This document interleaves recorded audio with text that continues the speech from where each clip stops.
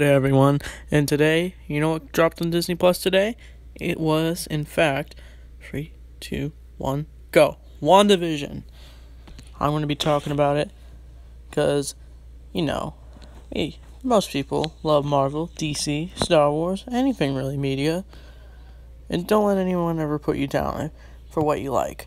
So, anyway, WandaVision, I, lo- I like it. It's nice to see the MCU back. I like how they changed the intro from like they like changed it to be in black and white after showing all the characters in the Marvel stuff. And like yeah, and there's like questions I still have like how's the Vision back? By the way, spoilers.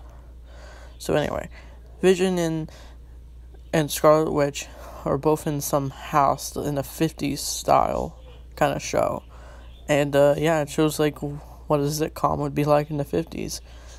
And it's, it's like interesting to watch, just seeing them being like a happy couple.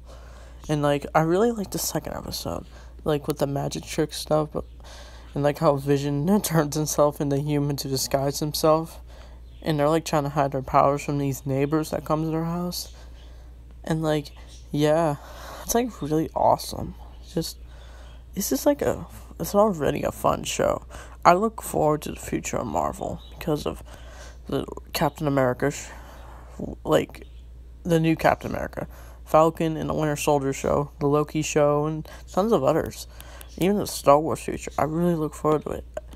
So, like, I don't know what the future is for this show, but I'm pretty sure it's gonna drop on Disney Plus every Friday, kind of like how The Mandalorian aired.